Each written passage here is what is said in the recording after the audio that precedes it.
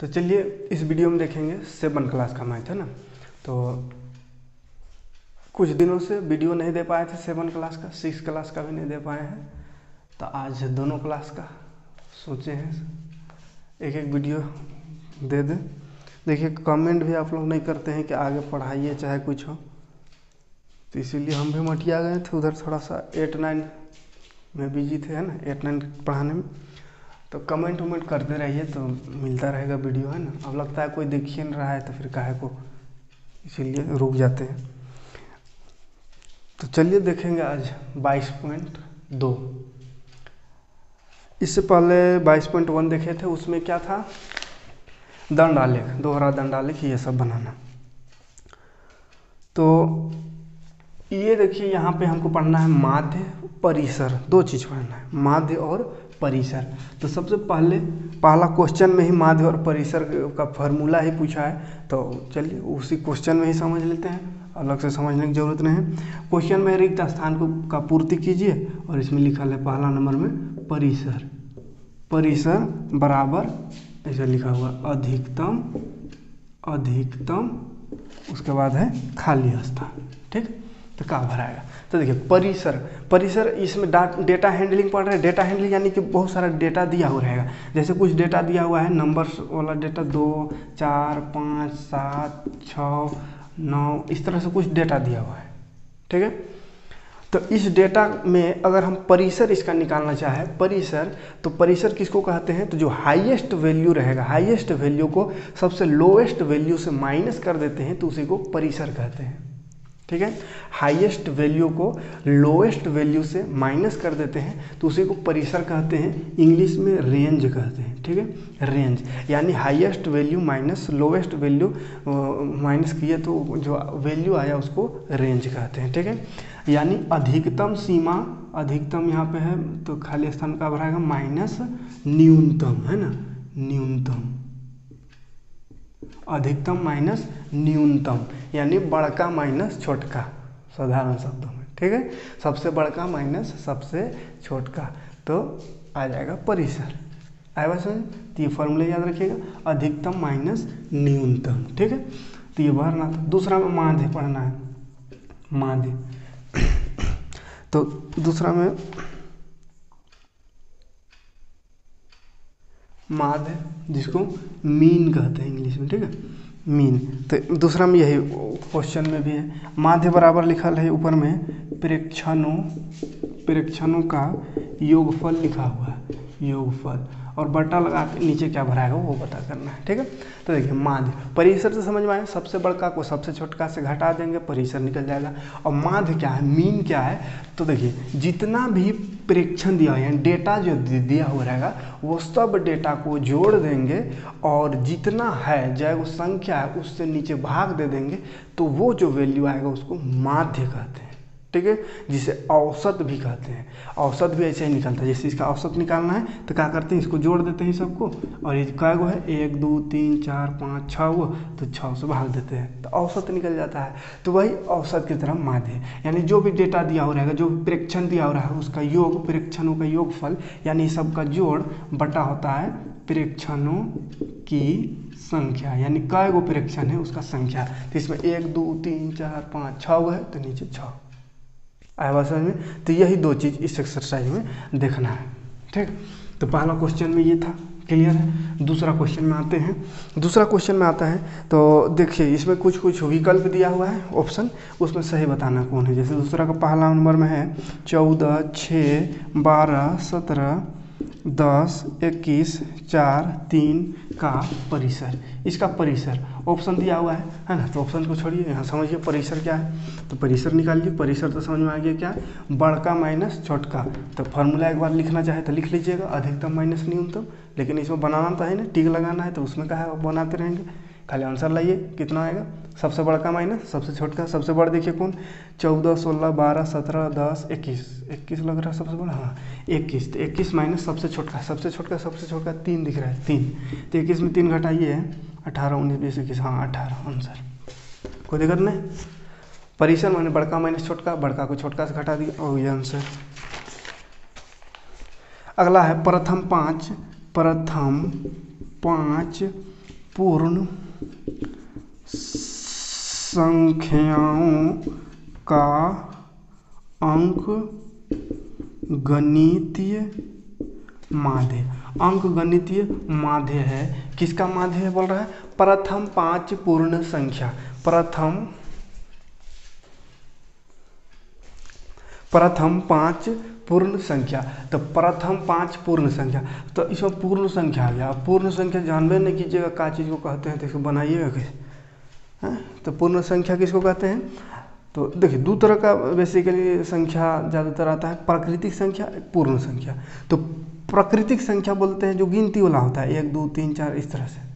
प्राकृतिक संख्या है ना नेचुरल नंबर और पूर्ण संख्या यानी हॉल नंबर जिसको इंग्लिश में कहते हैं तो वो ज़ीरो से स्टार्ट होगा. Zero one two three four five इस तरह से इन्फिनिटी तक वो सबको पूर्ण संख्या कहेंगे तो पूर्ण संख्या सबसे छोटा कौन? ज़ीरो यानी ज़ीरो से पूर्ण संख्या स्टार्ट होता है. और नेचुरल नंबर एक से है ना ज़ीरो हटा देंगे, एक से स्टार्ट करेंगे तो नेचुरल नंबर ठीक? माने प्राकृतिक संख्या. तो पूर्ण संख्या बोला क्या गो, प्रथम पाँच, यानी शुरू का पाँच गो पूर्ण संख्या. तो कौन कौन होगा? ज़ीरो एक, दो तीन, चार। चार तक जाएँगे है पाँचे को बोला है तो पाँच को तो हो गया। एक, दो, तीन, चार, पाँच। अब बोला इसका माध्य। माध्य तो माध्य मतलब कहता है परीक्षणों का योग बटा परीक्षणों की संख्या, यानी जो भी परीक्षण, उसका जोड़ बटा उसका संख्या। तो इसका जोड़ लगा दीजिएगा, जोड़ जोड़ जोड़ दीजिएगा, बटा इसका संख्या। एक, दो, तीन, चार, पाँच पाँच। जोड़िए, चार तीन सात, आठ, नौ और एक, दस। तो दस बट्टा पाँच, काटिए इसको तो पाँच दूनी दस। आंसर हो गया दो। कोई दिक्कत नहीं। सिंपल था। तीसरा। तीसरा नंबर में कुछ आंकड़ा दिया हुआ फिर से। बीस, पच्चीस, इक्कीस, उन्नीस अट्ठारह उन्नीस, बीस, पच्चीस, सत्रह। ये आंकड़ा दिया हुआ है। इसका परिसर ज्ञात कीजिए। निम्न आंकड़ों का परिसर ज्ञात कीजिए कह दिया। तो फिर परिसर तो अभी तो परिसर निकाले बहुत सारा। तो परिसर इसमें से निकालना है। तो इसमें फार्मूला भी लिख लीजिएगा। परिसर बराबर अधिकतम अधिकतम सीमा माइनस न्यूनतम सीमा, है ना?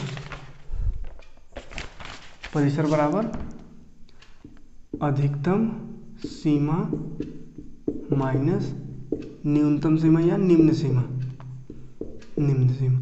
यानी बड़का माइनस छोटका, साधारण, है? बड़का माइनस छोटका बड़का कौन? सबसे बड़ा? पच्चीस। पच्चीस से बड़ा कोई नहीं नहीं। पच्चीस। माइनस सबसे छोटा, देखिए, सबसे छोटा बीस, सत्रह, अठारह सत्रह। सत्रह से छोटा कोई नहीं? नहीं तो सत्रह। पच्चीस में सत्रह घटाइए कितना सात, तीन, दस, पाँच, आठ।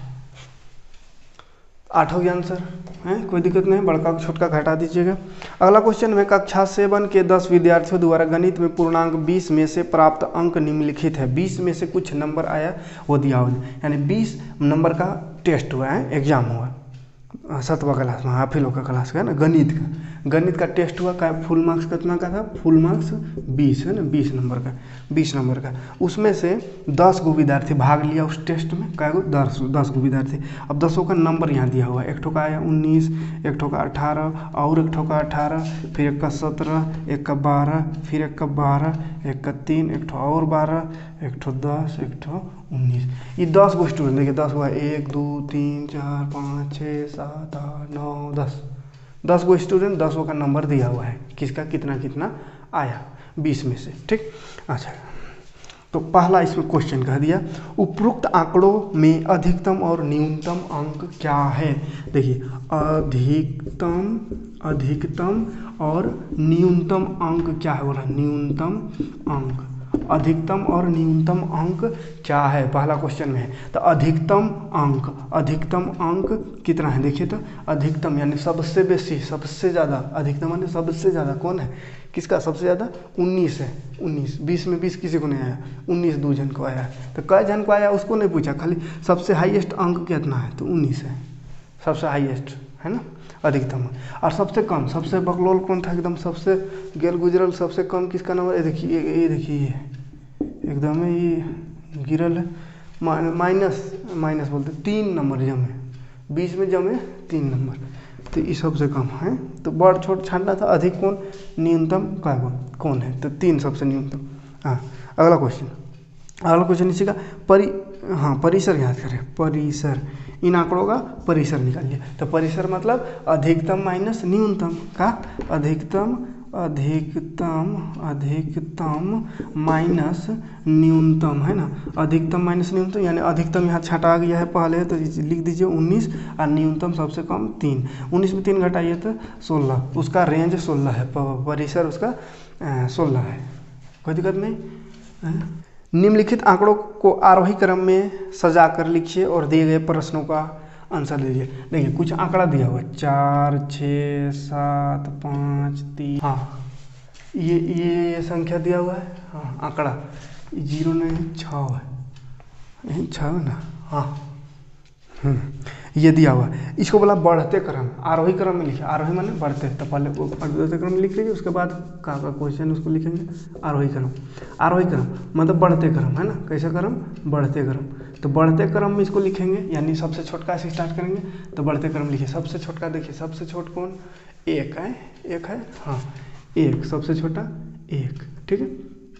एक। छोटा ही छोटा लिखे थे एक। एक।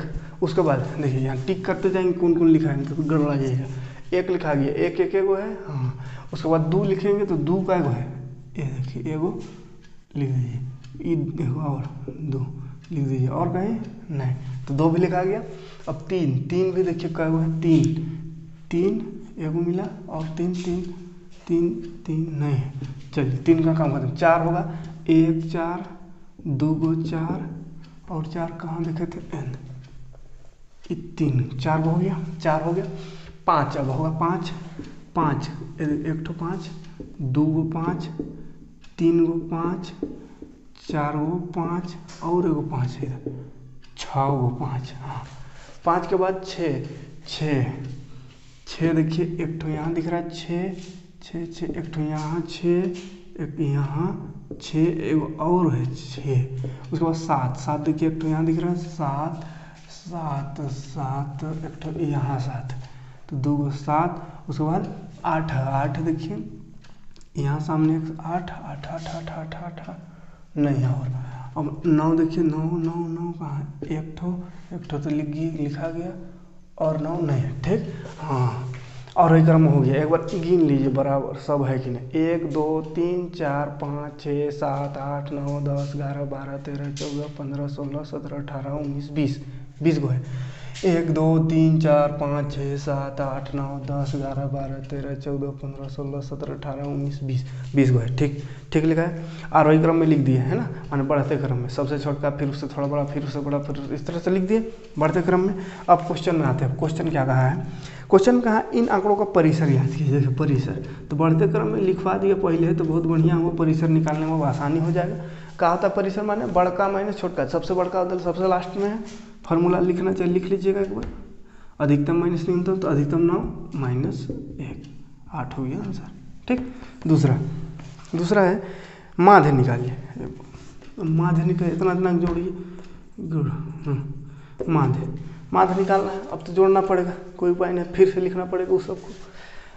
चलिए लिख देते। हैं एक प्लस दो प्लस दो प्लस तीन प्लस चार प्लस चार प्लस चार प्लस पाँच प्लस पाँच प्लस पाँच प्लस पाँच प्लस कै गो पाँच है? पाँच गो पाँच।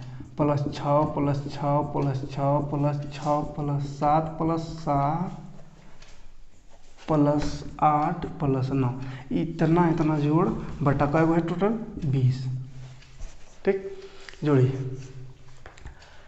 किधर से जोड़ने से ठीक होगा। इधर जोड़िए। नौ और सात, सत्रह।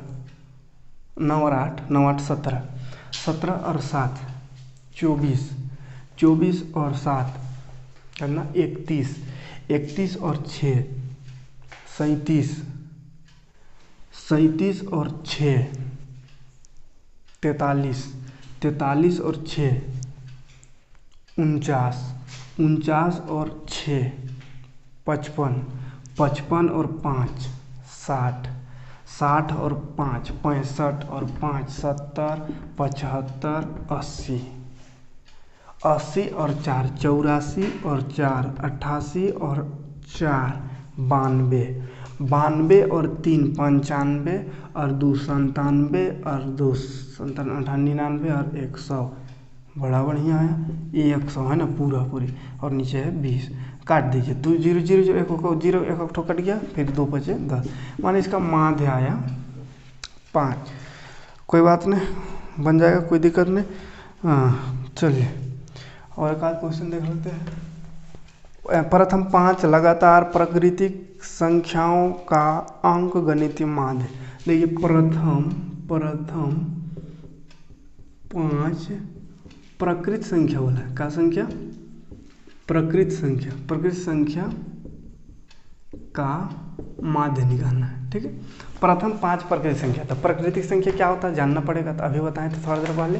प्राकृतिक संख्या, ऐसी संख्या जो गिनती में उपयोग होता है। गिनती, कोई चीज़ को गिनने में। तो एक, दो, तीन, चार, ये सब है प्राकृतिक संख्या, ठीक है? यानी एक से स्टार्ट होता है ये। कहीं कोई चीज़ चीज़ को गिनते हैं तो एक से गिनते एक, दो, तीन, ऐसा। ऐसे थोड़ी कहते हैं कि ज़ीरो, एक, दो, तीन। एक से गिनते हैं ना। तो गिनती वाला नंबर को ही प्रकृत संख्या या नेचुरल नंबर कहते हैं, ठीक है प्राकृतिक संख्या। तो प्रथम पाँच, प्रथम माने शुरू का पाँच होते एक हो गया, दो हो गया, तीन, चार, पाँच। शुरू का ये पाँच हो गया प्रकृति संख्या। अब इसका माध्य निकालना है तो माध्य बराबर जोड़ दीजिए सबको, हर उतना से भाग दे दीजिए। एक, दो, तीन, चार, पाँच से है ना। तो एक प्लस दो प्लस तीन प्लस चार प्लस पाँच बटा पाँच तो जोड़िए पाँच, चार, नौ, तीन, बारह, तेरह, चौदह, एक, पंद्रह। पंद्रह बटा पाँच यानी पाँच दिया पंद्रह। ठीक है? कर लीजिएगा, जल्दी से गनगना कर दे रहा हूँ क्या कि आप समझ में आ गया होगा, अपने से बना सकते हैं। प्रथम पाँच सम प्राकृतिक संख्या, देखिए, फिर से है पाँच सम प्रथम, है ना? प्रथम ज़रूरी है क्योंकि शुरू का, और नहीं तो ऐसा प्राकृतिक संख्या तो लाखों करोड़, कितना इन्फिनिटी तक है। अब कहाँ का लीजिएगा पाँच को? तो इसलिए प्रथम लिखल है यानी शुरू का पाँच को। ठीक है? इसी तरह यहाँ प्रथम पाँच, यानी शुरू का पाँच गो सम प्रकृत संख्या है ना? सम प्रकृत संख्या। सम प्रकृत संख्या। सम प्रकृत संख्या का माध्य यहाँ भी माध्य निकालना। अब सम भी बोला प्राकृतिक संख्या तो प्राकृतिक संख्या तो एक, दो, तीन, चार, ये सब प्राकृतिक है। अब सम भी होना चाहिए। सम किसको कहेंगे? दो, जो, दो के जोड़ा में रहे, यानी दो का पहाड़ा में जो आता है, उसको सम कहते हैं। जैसे दो, सम संख्या हो गया, चार, सम संख्या हो गया छः आठ, दस, ये सब सम संख्या है। ठीक है? तो कह बोला? पाँच गो तो पाँच गो हुआ, देखिए हाँ एक, दो, तीन, चार, पाँच। अब इसका माध्य निकाल दीजिए। कोई दिक्कत नहीं, निकाल लीजिएगा फटाक से हम निकालते हैं दो प्लस चार प्लस छः प्लस आठ प्लस दस बटा पाँच गो है तो पाँच नीचे। जोड़ देंगे, दस, आठ, अठारह, और छः छः बारह, तेरह, चौदह, चौबीस, चार, अट्ठाईस, उनतीस, तीस। तीस आया बटा पाँच पाँच छः तीस छः हो गया आंसर। ठीक? चलिए, हटाते हैं। स्क्रीन शॉट लेना, ले लीजिएगा, है ना? ताकि उतारने में आसानी हो। हम पाँच अभाज्य संख्या अभाज्य संख्या। अभाज्य संख्या का माध्य ही निकालना है, ठीक है? माध्य निकालना है, लेकिन कैसे संख्या है? प्रथम पाँच अभाज्य संख्या। अभाज्य संख्या किसको कहते हैं? जो किसी के पहाड़ा में नहीं आता है, जिसका गुणनखंड सिर्फ़ दो ही होता है। एक तो अपने आप खुद खुद का पहाड़ा में आता है एक एक का पहाड़ा में। तो ये दो गो जिसका गुणनखंड रहे, एक खुद अपने आप और एक ठो एक। तब उसको अभाज्य संख्या कहें हैं? जैसे दो। दो किसके पहाड़ा में आता है? तो दो एक में आता है और दो। माने खुद का पहाड़ा में एक। तो ये आवाज़ हुआ। लेकिन एक एक में बड़ा कन्फ्यूज़ हो एक को भी सोच लेता है आवाज़ संख्या का है कि एक भी किसी पहाड़ा में नहीं आता है तो आवाज़ तो किसी पहाड़ा में नहीं आता है उसको आवाज़ ऐसा याद कीजिएगा तो फिर एक को भी कह दीजिएगा आवाज़ तो ऐसा नहीं कहिएगा याद रखिए, ऐसा याद रखिएगा जो जिसका दो गो गुणनखंड होना चाहिए। दो गुणनखंड, यानी दो का पहाड़ा में आएगा खाली। वो दोनों के अलावा किसी में आएगा। वो दो को कौन कौन है? तो एक तो एक और एक अपने आप। तो ये देखिए, इसका तो एक एक गुणनखंड हो रहा है, एक खाली। कहा कि ये एक है और अपने आप भी एक है तो इसका गुणनखंड एक एक हो रहा है। दो गुणनखंड रहता तो ये भाज्य लेकिन दो गुणनखंड नहीं, एक एक है, इसीलिए ये अभाज्य संख्या नहीं है। तो क्या भाज्य है ये? तो नहीं भाज्य भी नहीं भाज्य कब होता है? जब दो से अधिक के पहाड़ा में आता है। दो से अधिक जिसका गुणनखंड है तो भाज्य संख्या, यानी एक और अपने आप में तो आएगा ही, उसके साथ अलावा कुछ दूसरा पहाड़ में भी आवे, तब उसको भाज्य कहते हैं। जैसे चार चार एक और चार में तो आता ही है। ये एक और एक खुद का पहाड़ा में आवे करेगा, लेकिन दो में भी आता है। इसलिए भाज्य ठीक? लेकिन एक जो है, ना भाज्य है, ना अभाज्य है। याद रखिएगा, एक, ना भाज्य संख्या, ना अभाज्य संख्या है, ठीक है? हाँ तो इसमें पाँच गो अभाज्य संख्या बोला। तो कहाँ स्टार्ट करेंगे? एक से? ना, एक तो ही नहीं अभाज्य संख्या। कौन है? दो है।